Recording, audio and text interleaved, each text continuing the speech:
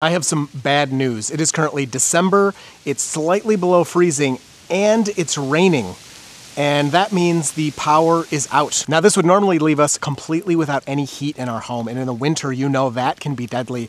And in an ice storm like this, I mean, check out these trees. It's gonna be a while before the guys get out and repair it, because they gotta stay safe too. We don't want them risking themselves uh, to put our power back on. But thanks to the Anker Solix E10, my heat is completely powered because of these batteries right here. And there's no solar. Of course, it's storming. The clouds are out. I'm getting no solar right now, but it's okay because there is a built-in gas generator or propane or natural gas that we can use, oh, it's cold out here, to power up the system if it, I'm slipping down the hill, to, to power up the system if it runs out. I'm gonna go inside, but let's check out this beast of a system. All right, so I'm hiding in the garage from the ice. It is really nasty and cold out there, but one of the coolest parts of this system, as you can see on my screen right now, is that the heat is running and it never turned off. When the power went out, it automatically switched over from the grid to the battery instantaneously. So the heat never flinched, the heat never turned off. And for my geothermal system, that is incredibly impressive. This thing is so picky with how it gets its power, how clean the power is. And in the power outages we had in the past, before we had the Anker Solix E10 installed, once the power did come back on, it would take anywhere from 5 to 15 minutes for my system to even power back on. So having it be able to seamlessly and smoothly transition over to the battery without shutting off and needing that big long reboot time is huge. That's sounding really nasty. I ran inside, I turned the heat down just to conserve a little bit of energy. I wanted to show you though that the system was running with the recording uh, that you're looking at right now. We don't need the house quite as warm. Uh, we can conserve extra when the grid is down and make that battery last as long as possible. But before we get more into it, let's go back in time. Let me show you the install because I was pretty impressed with how simple the setup for this system really is. All right, guy who's actually working, I'm gonna ask you, what do you think? I'm gonna hand you this how many hours do you think we're going to be working on this? You're going to be working on this. I don't want to take any credit. And do you think it's going to be like pretty straightforward install? Do you think Anker is going to optimize all of this? It should be pretty straightforward. I think it'll take me about eight to 10 hours. All right, so getting everything unboxed here. You can see two batteries here. We have the, what is this? The power module is there and we have our generator down there in case I ever lose power for a long time. I can just put some gas in it and have heating and cooling. And then down here is our pad that we got prepared. And then we're starting with this really cool metal pad here that the batteries rest on. So it's already perfectly level because uh, we did such a great job here. But there are feet down there, so if you need to level it, very easy to level with just this metal pad. You don't need any extra work uh, if you're using that.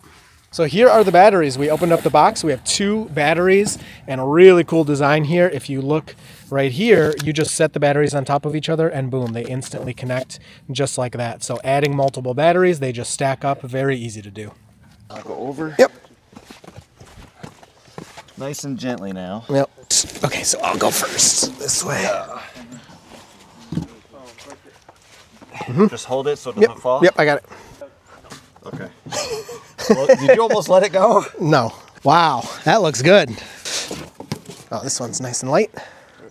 Bro, this thing looks amazing. Look at that. Look at that. That looks so good. That looks cool. It does. All right, so here's our bracket. This is how you attach it to the wall to make sure everything stays sturdy and safe, can't fall over, although it's already really sturdy. And I love the design here, how this is comes out from the wall. So you don't have to be up touching against the wall. You just have to be somewhere near the wall. And then you can uh, attach anywhere along this to keep everything safely attached to the structure of your home. And that way the batteries can't tip over. you got it? Yeah. Okay. I love me just talking and you're like lifting a thousand pounds over here. If you put the anchor here, which this is a good spot, but I wonder if you could, you should be able to put another battery on top of it. So you don't even have to anchor at the top. You could anchor at any point that you want. So if you wanted to anchor down there, you could. Oh, right. It's probably better higher up, but Right, you get what I'm saying? Like if I added another battery, I don't have to take the anchor off, move it. right, right. You just add another battery. Yeah, and, then and throw it's the thing it's already top. anchored. Yeah, Yeah. cool. You're right. You're right. It's a good. I mean, it's just smart way they design, yeah. set it up. Well, the birds are not too scared of us. It's perfect. The battery. Don't show them the generator, but the, you know the nice eco-friendly battery. He's got birds flying all over the place.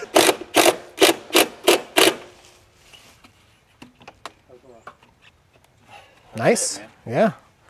Not going anywhere.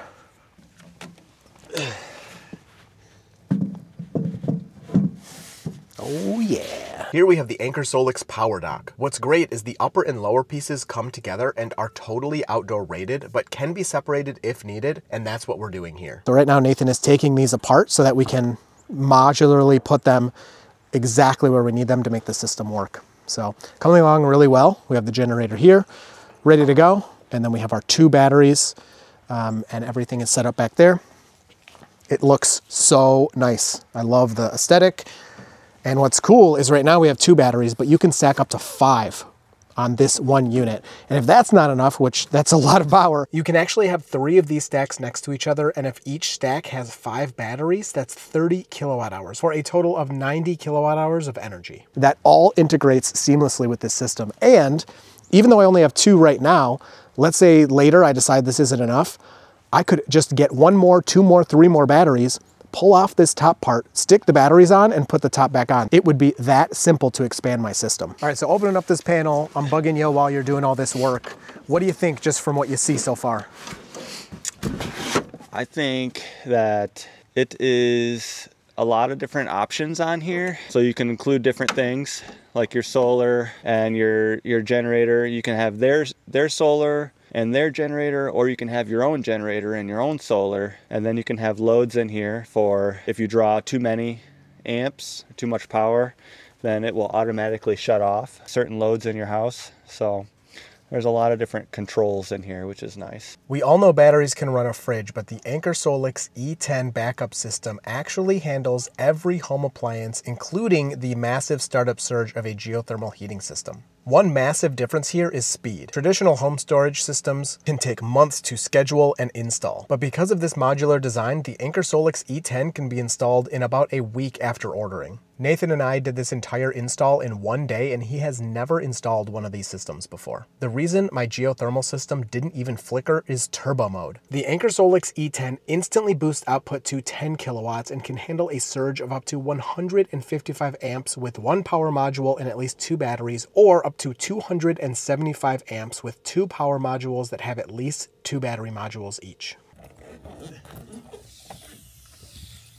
The custom cables for the Anker products are really nice. They clip in uh, safely, they lock on, which is really good. This one is for the generator, uh, but there's different cables for different parts of the system. And uh, you can, as I talked about in another part of the video, use your own equipment as well. So if you have your own generator already, you can just use a generic uh, generator cable and connect that to your batteries to charge them up if you need uh, power from gasoline, propane, or natural gas. This isn't just a generator plugged into a battery. The Anker Solix E10's DC charging avoids conversion loss. This makes the entire system more efficient. By contrast, AC generators power the house directly and must constantly adjust with demand. This ends up reducing overall efficiency, and because of this, the Anker Solix E10 delivers up to five times the backup time with a similar amount of fuel. Since we knew this ice storm was coming and StormGuard was enabled in the app, the Anker Solix E10 automatically topped the batteries up to 100% before the grid went down. And for peace of mind while we sleep, the whole system is UL 9540 and UL 9540A certified, which is the gold standard for fire safety. Can I just say that I love that it's a smart panel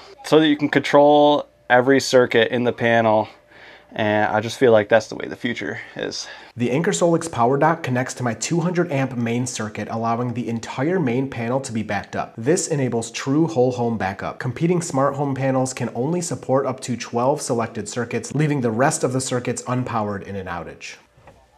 Copper incoming!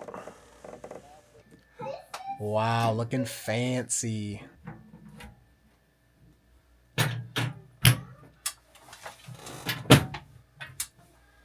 Nice.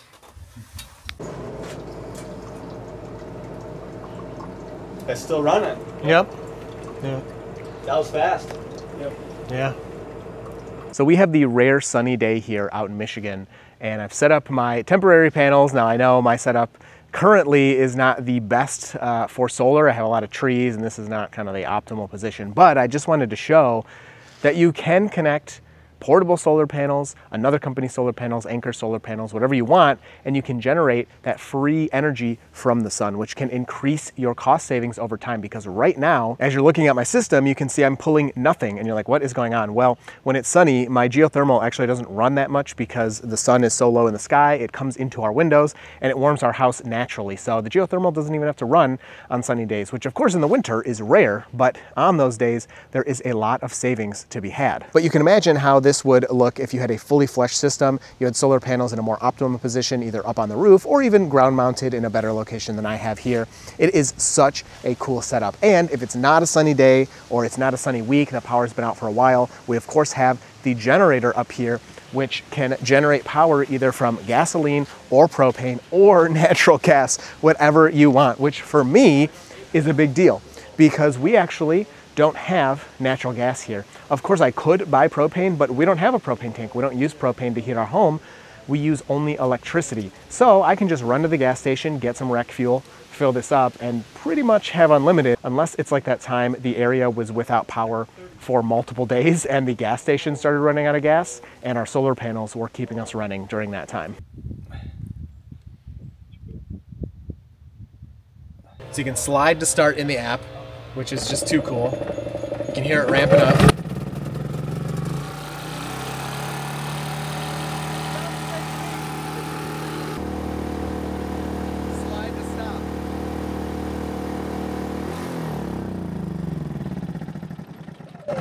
Never, never has a better. Come on, cameraman. Never has a generator been that easy. That's pretty crazy. So we're back here with the ice storm, and you can see now nothing is running on this system. So I have a pretty unique setup. I have two panels in my basement.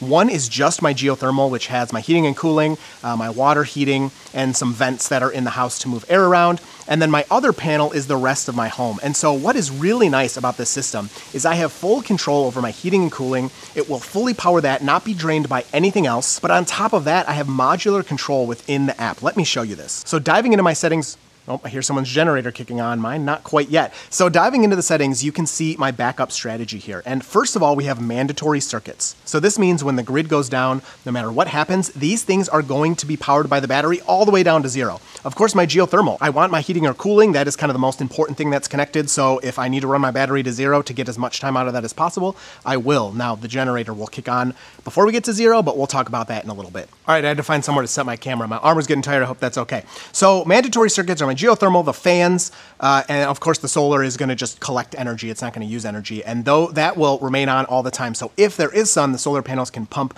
more energy for free into that battery. And then I have another circuit that nothing is connected to. Doesn't really matter where that goes. Then we go to conditional. So for right now, I've taken everything out of here just because this storm is so severe, and I don't know when the power is going to come back on. It could easily be days like this because it's a huge ice storm and you can't drive on the roads and these line workers are going to have a lot of work to do. I'm sure power is out in a lot of michigan right now. But the point of this is that you can have things that if your battery's really full or half full or whatever you want to set the battery will power those until you get below whatever percentage you set. And so normally i have my hot water heater in here. I love having hot water obviously but it's not a necessity most of the time. So i had this set up so if we had enough energy the water would be heated but as soon as we got below a certain level hot water heater you're out of here. We need to conserve that energy for our heating and cooling system and not use it on the hot water. And then below that, we have no supply when the power is out. And the main thing I have here is the auxiliary heat. If it gets cold enough, the geothermal system itself cannot keep up with the heating that you're doing. It's got about a 60 degree differential or so. The auxiliary heat just simply pulls too much power for my current setup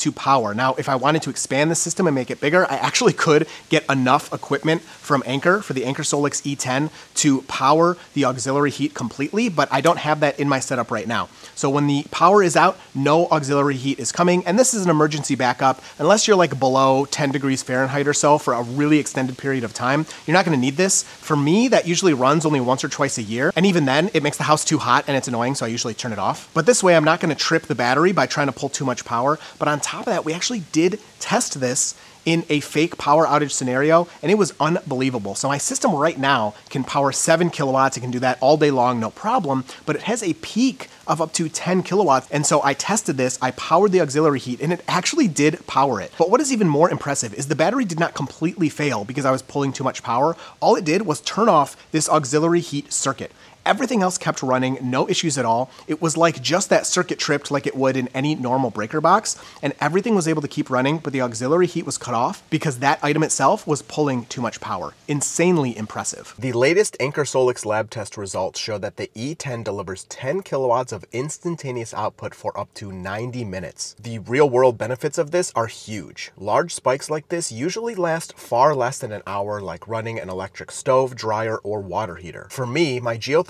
system actually could run the auxiliary heat to keep us warm in extreme cold, and that backup heat for us usually only runs in 15 to 20 minute bursts anyway. Now, extended power outages normally happen during storms, like you're seeing here, and during storms, there's usually not much sun. And so while you can have solar panels attached to this system, you can have enough to power yourself indefinitely. The times when you really need these backup systems, solar isn't always giving you enough energy, especially for something like this, my geothermal system, that really does pull a lot of power over an extended period of time. And that is where the last piece of this really cool puzzle comes in, and that is the gas generator. Now, I can't believe I'm showing you guys a gas product on this channel. I never thought it would happen, but I am actually very thankful to have it. And what is cool is it's a smart gas generator, okay? So maybe, let's move over here. Look at all that ice. That's crazy. So maybe the smarts make up for the fact that it's gas, but either way, I am very happy to have it at this moment. So let's hop into it in the app. You can see it here on the left. Zero watts right now. It's not needed. We'll click it and we can click smart generator. And it does have an update, but I'm gonna skip that for now. And what is so cool, you can see on the left there, 88%. That's how much gas I have in it. So I could actually put more gas. I hope I have some in the shed, but this will last me a long time either way.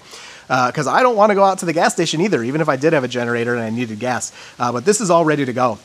And what is so cool about this generator is not only can it provide enough power for us to power our heating as long as we need it, as long as we have gas, it is automatic. So once the battery reaches a certain low percentage, this generator will kick on and it will charge the battery. That's it. As soon as the battery has enough power, it'll just turn back off and it will do that as much as it needs to to keep the power on. On top of that, if I don't want to wait, I can just slide to start. I don't have to go outside. I don't have to pull anything. Most generators have a push start now, but still, I don't have to go outside and push start it. I don't have to connect any wires or move it around. It's just ready to go. It's set up.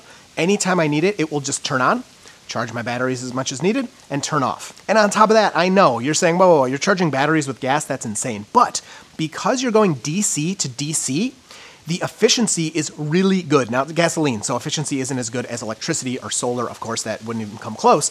But you have a lot of power in a short amount of time, and the efficiency is just about as good as you can get.